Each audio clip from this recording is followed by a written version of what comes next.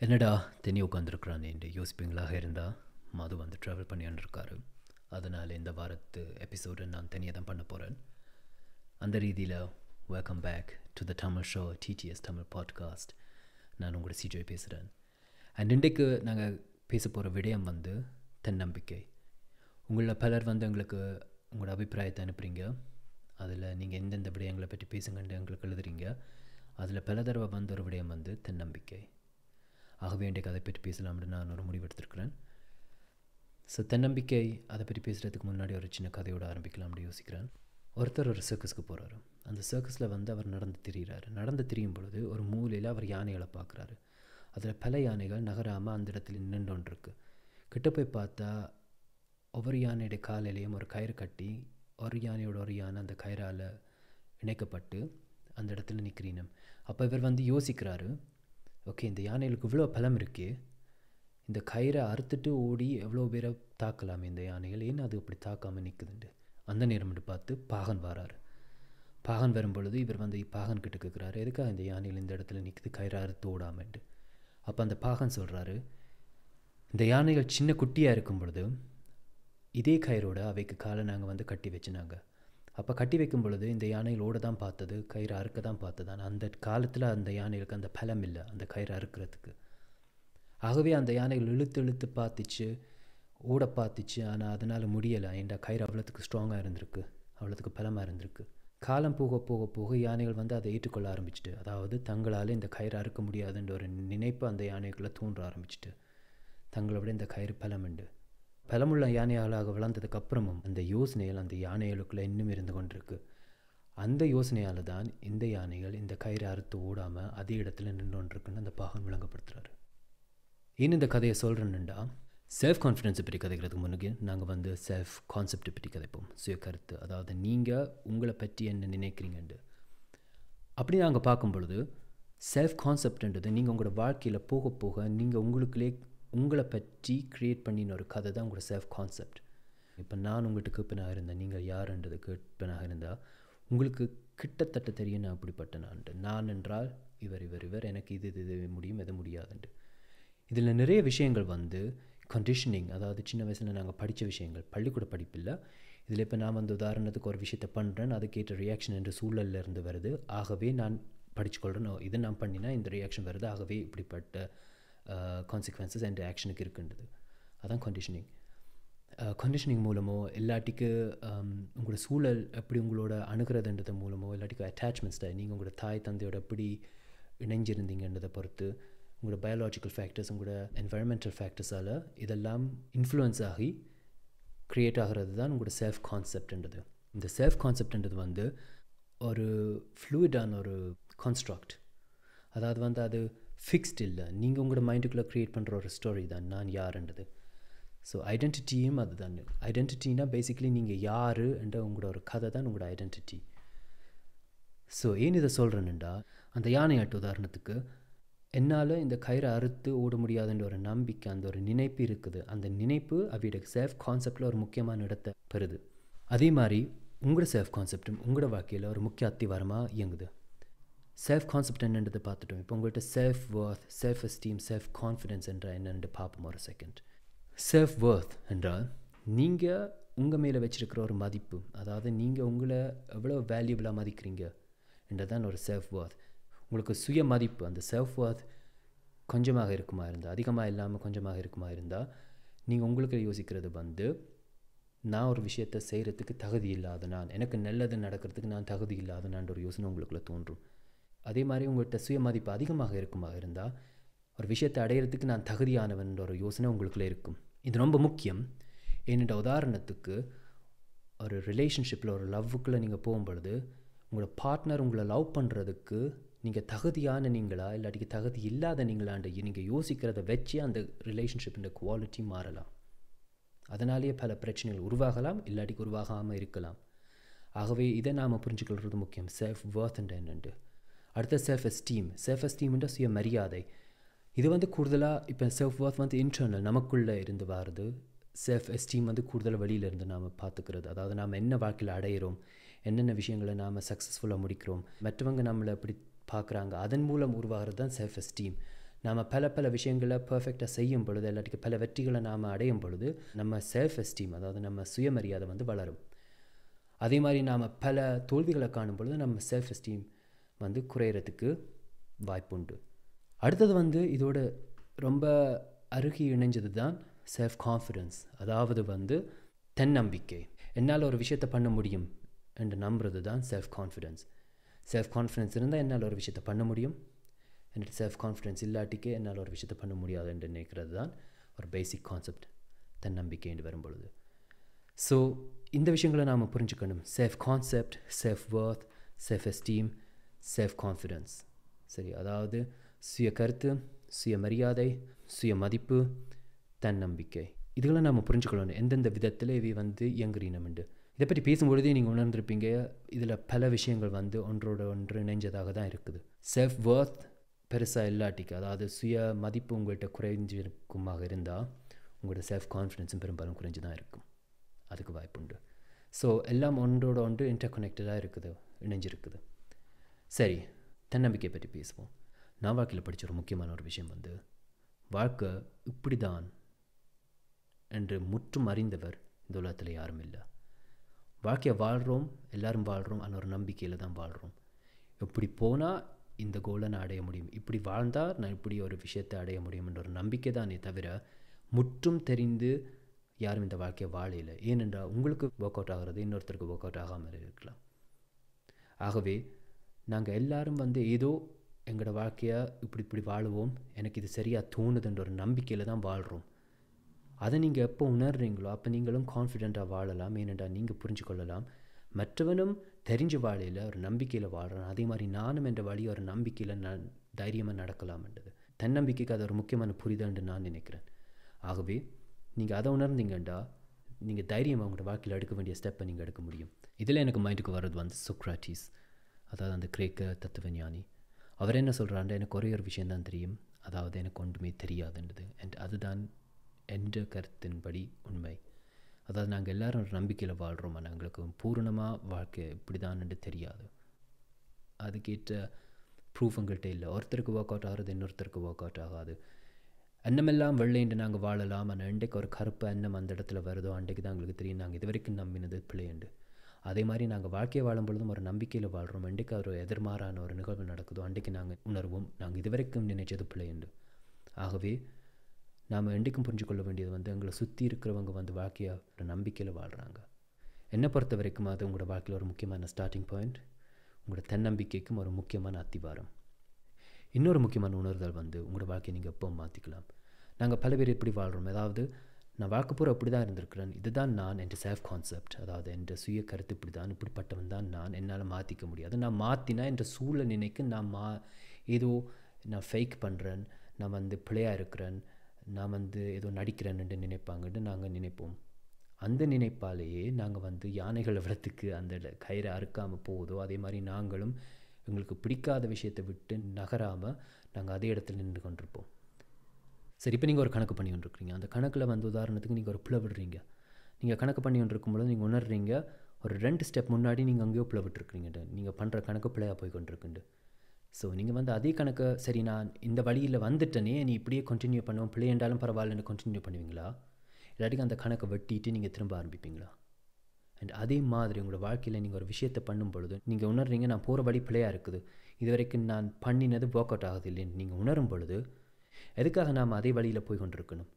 அந்த இடத்துலையும் நாம் கட் பண்ணிவிட்டு ஓகே நான் இது வரைக்கும் இருந்த விதம் எனக்கு பிடிக்கலை இது சரியில்லை நான் இந்த இடத்துல கட் பண்ணிவிட்டு திரும்ப மாற்ற போகிறேன் என்ற சுபாவத்தை மாற்ற போகிறேன் நான் அப்படி இருக்கிறேன்றதை மாற்ற போகிறேன் என்று நீங்கள் அதில் ஒர்க் பண்ணலாம். பர்சனாலிட்டி ஸ்டேபிள்னு சொல்லுவாங்க இல்லைன்ட்டு இல்லை ஆனால் உங்களோட ஆக்ஷன்ஸை நீங்கள் மாற்றலாம் நீங்கள் அதாவது நீங்கள் செய்கிற செயல்களை நீங்கள் மாற்றலாம் இப்போ உதாரணத்துக்கு நிறைய பேர் சொல்வீனம் நான் மற்றவைக்கு நிறைய நல்லதை செய்கிறேன் நான் அதனாலேயே நான் நிறைய ஏமாந்து போகிறேன்ட்டு நல்லதை செய்கிறது ஒரு நல்ல விஷயம்தான்.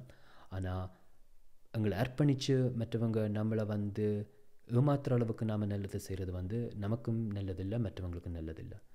ஆகவே சரி இது வரைக்கும் நான் இப்படி தான் இருந்துட்டேன் இனியும் இப்படி இருக்க போகிறேன்ட்டு சொல்கிறத விட்டுட்டு அந்த இடத்துல ஒரு முற்றுப்புள்ளியை வச்சுட்டு நாம் திரும்ப போய் ஓகே இது வரைக்கும் நான் இப்படி இருந்தேன் நான் இனிமேல் நான் இப்படி இருக்க மாட்டேன் என்ற செயல்களை மாற்ற போகிறேன்ட்டு சொல்லி நீங்கள் உங்களை மாற்றிக்கொள்வது உங்களுக்கும் உங்களோட தன்னம்பிக்கைக்கும் ஒரு முக்கியமான ஒரு விஷயம்.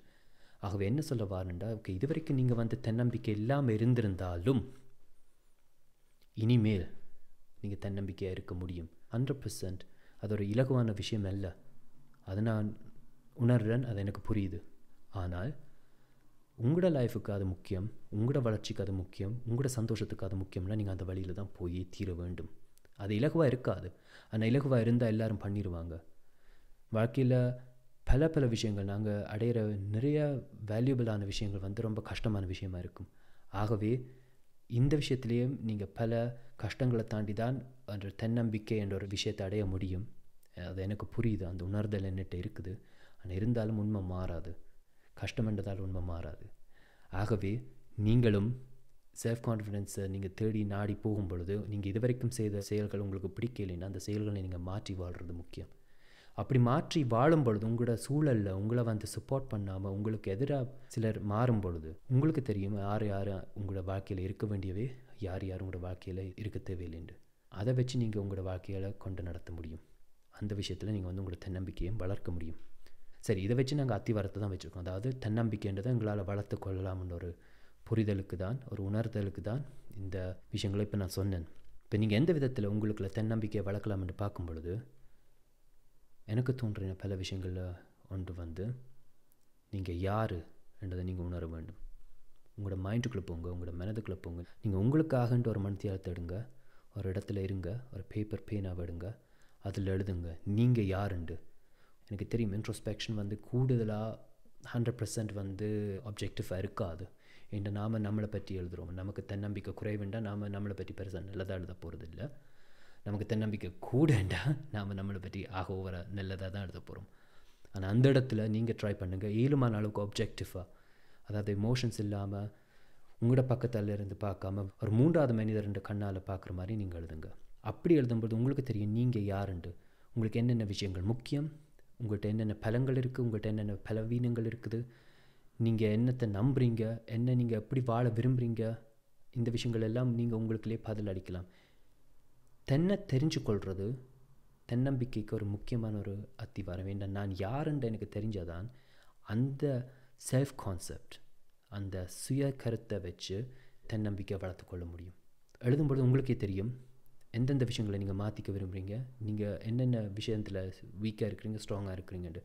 இப்போ உதாரணத்துக்கு சொல்லுவோம் நீங்கள் இப்படி எழுதும் பொழுது உங்களுக்கு தோன்றுறது எனக்கு என் குடும்பம் முக்கியம் என் குடும்பத்தின் அபிப்பிராயம் எனக்கு முக்கியம்னு சொல்கிறீங்க அதை நீங்கள் உங்களுக்கு ஐடென்டிஃபை பண்ணும் பொழுது இது எனக்கு முக்கியம்னு நீங்கள் ஐடென்டிஃபை பண்ணும் பொழுது நீங்கள் மற்றவங்க அதாவது குடும்பத்தை தாண்டி வழியில் இருக்கிற விட அபிப்பிராயத்தை பற்றி நீங்கள் கவலைப்படுத்தவில்லை என்ற உங்களுக்கு தெரியும். எனக்கு ஒரு இண்டிவிஜுவலாக ஒரு தனி மனிதனா எனக்கு வந்து என் குடும்பத்தின் ஒப்பீனியன் தான் முக்கியமே தவிர வெளியாக்காண்ட ஒப்பீனியன் எனக்கு தேவையில்லைண்டு ஆகவே நீங்கள் வந்து மற்றவையோட அணுகும் பொழுது நீங்கள் வித்தியாசமான முறையில் அணுகிறதுக்கு உங்களுக்கு வாய்ப்புண்டு.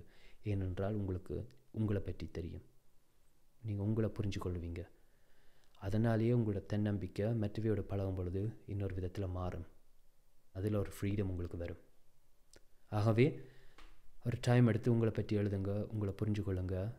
உங்களோட வாழ்க்கையை நீங்கள் எப்படி கொண்டு நடத்த போகிறீங்கன்ற ஒரு உணர்வை நீங்கள் உங்களுக்கு எழுதி உங்களோட செல்ஃப் கான்செப்டை நீங்கள் இருக்கா எழுதி பாருங்கள் அடுத்தது வந்து இது நான் பர்சனலி ரொம்ப முக்கியம்னு கருதுகிற ஒரு பாயிண்ட் நீங்கள் ஒரு விஷயம் பண்ண போகிறீங்கன்ட்டு நீங்கள் சொல்லும் பொழுது அண்ட் இதில் நான் மற்றவைக்கு சொல்லும் பொழுது அதை பற்றி கதைக்கல. அதாவது நீங்கள் மெட்ரிவிக்கு ஒரு விஷயத்தை பண்ணுறதை பற்றி நான் கதைக்கல. நீங்கள் உங்களுக்குன்ற ஒரு விஷயத்தை பண்ண போகிறேன்ட்டு சொல்லும் பொழுது உதாரணத்துக்கு நீங்கள் சொல்கிறீங்க நான் விடிய காலம் ஆறு மணிக்கு எழும்ப போகிறேன் இல்லாட்டி நீங்கள் சொல்கிறீங்க இன்றைக்கி நான் வந்து ஹண்ட்ரட் புஷ்அப் பண்ண போகிறேன்ட்டு நீங்கள் சொல்லும் பொழுது அந்த வாக்கை நீங்கள் எப்போவும் காப்பாற்ற வேணும். எதுக்காக அதை நீங்கள் காப்பாற்ற வேணும் என்றால் மற்றவே விடுங்க. உங்களோட தன்னம்பிக்கைக்கு அது மிக மிக முக்கியமான ஒரு விஷயம். ஏனென்றால் நீங்கள் வந்து உங்களோட வாக்கை நீங்களே மதிக்காத பொழுது மற்றவன் எப்படி உங்களை மதிப்பான்?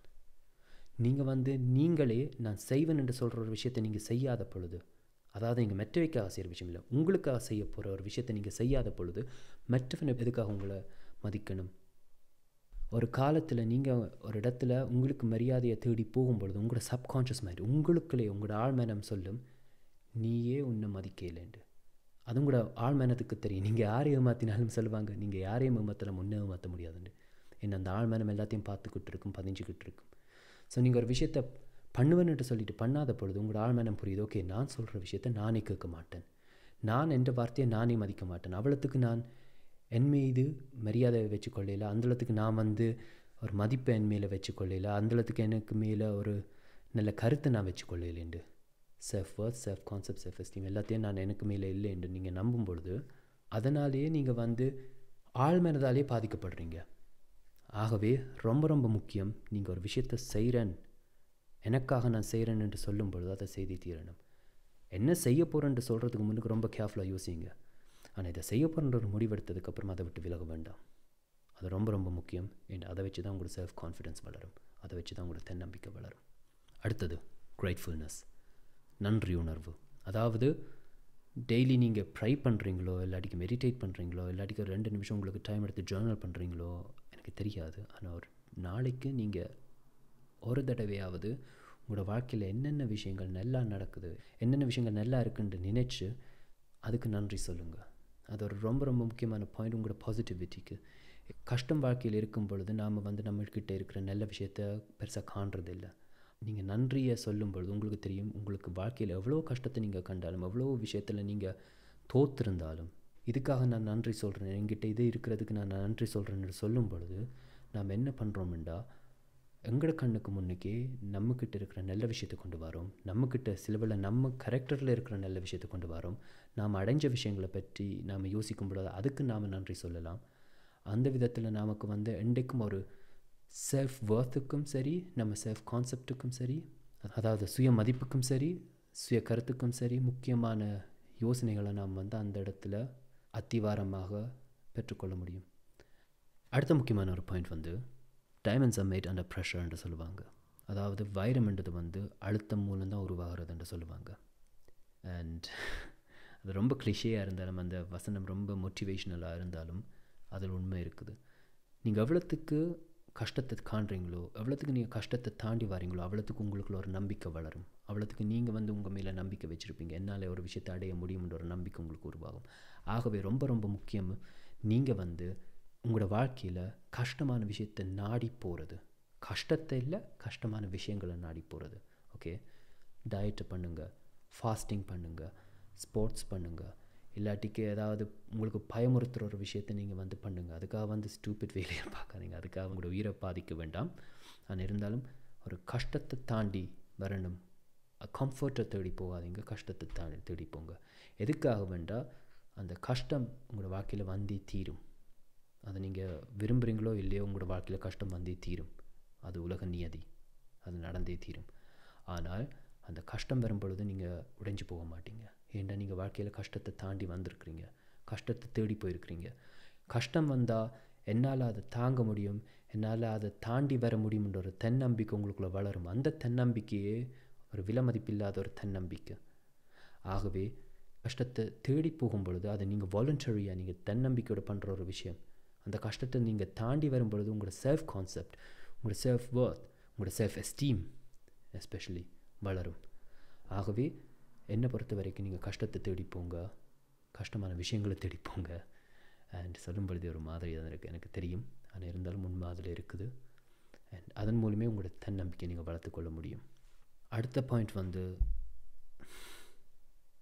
சொல்கிறது ஈஸி பண்ணுறது கஷ்டம். இந்த விஷயத்தில் எனக்கு தெரியும். ஆனால் உங்களோட வாழ்க்கைக்கு உங்களோட தன்னம்பிக்கைக்கு உங்களோட சுய மதிப்புக்கு உங்களோட சுய கருத்துக்கு கெடுதலாக இயங்குகிற ஆக்களை விட்டு நீங்கள் விலகி இருக்க பாருங்கள் ஏன் இது கஷ்டம்? இது கவலைக்குரிய விஷயம். ஆனால் சில நேரங்களில் எங்களோட நெருங்கிய நண்பர்களோ இல்லாட்டிக்க நம்ம குடும்பத்தினரோ பெற்றவர்கள் கூட அப்படிப்பட்டவராக இருக்க முடியும். உங்களோட வாழ்க்கையில் நெகட்டிவிட்டியை ஈழமான அளவுக்கு நீக்க பாருங்கள் என்ற வாழ்க்கையே கஷ்டம். வாழ்க்கையில் எவ்வளவோ கஷ்டங்கள் நம்மகிட்ட தேடி வருது. நாமளா வேணுமெண்டு நெகட்டிவிட்டியை தேடி போகிறது இல்லை. நான் முதல் சொன்னது நெகட்டிவிட்டி இல்லை. நான் முதல் சொன்னது வந்து அட்வர்சிட்டி கஷ்ட சேலஞ்சஸை தேடி போக சொல்கிறேன் இதில் வந்து நான் உங்களை நெகட்டிவிட்டியை குறைக்க சொல்கிறேன் அது ஒரு ஃபண்டமெண்டல் டிஃப்ரென்ஸ் இருக்காது ஃபைனல் பாயிண்ட்ஸில் முக்கியமான ஒரு பாயிண்ட் வந்து உங்களுடைய நினைப்புகள் ஒரு விஷயத்தை நீங்கள் எப்படி செயலாற்றுறீங்கன்றதை கண்டிப்பாக இன்ஃப்ளூயன்ஸ் பண்ணும். ஆகவே உங்களுடைய நினைப்புகளை நீங்கள் உன்னதமாக கவனியுங்க. என்னென்ன நினைக்கிறீங்கன்றது ரொம்ப ரொம்ப முக்கியம். முதலாவது பாயிண்ட் இதுக்கு மெடிடேஷன் ரொம்ப ரொம்ப ஹெல்ப்ஃபுல்லாக இருக்கும். ஏன்னா நாம் மெடிடேட் பண்ணும் பொழுது நமக்கு தெரியும் என்னென்ன யோசனைகள் நமக்குள்ள வருமெண்டு ஸோ அது ரொம்ப ரொம்ப முக்கியம். அது மட்டும் இல்லாமல் உங்களை பற்றியே நீங்கள் நிறைய நிறைய நல்ல விஷயங்களை சொல்லுங்கள் நான் இப்படிப்பட்ட நான் இப்படி என்னால் முடியும். இதில் நான் ஸ்ட்ராங்காக இருக்கிறேன் உங்களை பற்றி நிறைய பாசிட்டிவ் சொல்லும் பொழுது உங்களுக்குள்ளேயே கொஞ்சம் கொஞ்சமாக நீங்கள் தன்னம்பிக்கையும் சரி தன் மதிப்பையும் சரி வளர்க்க முடியும். அது மட்டும் இல்லாமல் உங்களோட தாட்ஸை நீங்கள் புரிஞ்சு கொள்கிறதுக்கு அதோட உங்களோட ஆழ் மனதில் உருவாகிற நினைப்புகளை நீங்கள் வந்து கண்ட்ரோல் பண்ணுறதுக்கு ஒரு முக்கியமான ஒரு கருவி என்னை பொறுத்த வரைக்கும் ஸ்போர்ட்ஸ் நீங்கள் கடினமான உடற்பயிற்சி பண்ணும் பொழுது நீங்கள் கடினமாக ட்ரைனிங் பண்ணும் பொழுதோ இல்லாட்டி நீங்கள் ஓடும் பொழுது உங்களோட மைண்டுக்குள்ளே தெரியும். நீங்கள் ஓடி இருந்தீங்கன்னா உங்களுக்கு தெரியும். உங்களோட மைண்டுக்குள்ளே ஒரு வாய்ஸ் வரும். என்னால் இது முடியாது என்னால் இதை பண்ண முடியாது எனக்கு ரொம்ப ரொம்ப கஷ்டமாக இருக்குது ஆனால் உங்களோட பாடி ஓடிக்கிட்டு இருக்கும். அந்த வாய்ஸ் உங்களுக்கு சொல்லும் இயலாதுண்டு ஆனால் உங்களோட பாடியாக சொல்லும் தன்னால் இயலுமுண்டு ஆனால் அந்த வாய்ஸை நீங்கள் கண்ட்ரோல் பண்ண பழகாட்டிக்கு அந்த வாய்ஸே உங்களோட பல விஷயங்களில் உங்களை தடுத்துரும். இவ்வாறு ஓடும் பொழுது தடுக்கிற இந்த வாய்ஸ் வாழ்க்கையில் வேறு வேறு இடங்கள்லையும் உங்களை தடுக்க பார்க்கும் உங்களை வந்து பலவீனமாக்க பார்க்கும் உங்களுக்கு பல கெடுதலை செய்ய பார்க்கும். அது ஒரு ரிலேஷன்ஷிப்பில் இருக்குமாக இருந்தாலும் சரி உங்களோட வேலை இடங்களில் இருந்தாலும் சரி அதில் வந்து உங்களோட இமோஷன்ஸையும் சரி உங்களோட தாட்ஸையும் நீங்கள் வந்து கண்ட்ரோல் பண்ண பழகாட்டிக்கு அதில் நீங்கள் பல கஷ்டங்களை சந்திக்க வேண்டிய ஒரு நிலைமைக்கு தள்ளப்படுவீங்க. ஆகவே ஸ்போர்ட்ஸ் பண்ணும்பொழுது ஏழுமான அளவுக்கு மியூசிக் இல்லாமல் பண்ணி பாருங்கள் அதை நான் பண்ணுறேன் பர்சனலி என்ற எனக்கு அதன் மூலம் என் வாய்ஸும் என் என் மைண்டோடையும் என்னால் கனெக்ட் பண்ண முடியுது. என் ஆழ்மனதை எனக்கு என்ன சொல்லுது என் மைண்டுக்குள்ளே என்னென்ன யோசனைகள் வருதுன்னு அதை அனலைஸ் பண்ண முடியுது. ஆகவே எனக்குள்ளே நான் ஒரு உணர்தலை உருவாக்குறேன். என் மைண்டு ஒரு விஷயத்த சொல்லுது. ஆனால் என் மைண்ட் சொல்கிறது உண்மை இல்லை. அதை தாண்டி என்னால் ஒரு விஷயத்தை பண்ண முடியும்ன்ற ஒரு உணர்தல் எனக்குள்ளே வருது. அதனால் ஒரு தன்னம்பிக்கையும் எனக்குள்ளே வருது. கன்ஃபூஷியஸ் சைனீஸ் தத்துவஞானி என்ன சொல்லியிருக்காருண்டா? என்னால் முடியும் என்று சொல்கிறவரும் என்னால் முடியாது என்று சொல்கிறவரும் ரெண்டு பேரும் உண்மையை தான் சொல்கிறீங்கன்ட்டு நீங்கள் ஒரு விஷயத்தை பண்ணும் பொழுது முடியும் என்று சொல்லும் பொழுது நீங்கள் அந்த விஷயத்தில் வெற்றிகரமாக வாரத்துக்கு வாய்ப்பு அதிகரிக்குது.